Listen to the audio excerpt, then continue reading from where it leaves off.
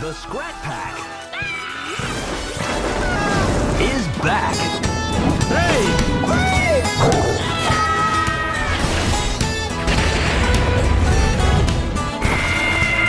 Ice Age 2, The Meltdown, coming 2006.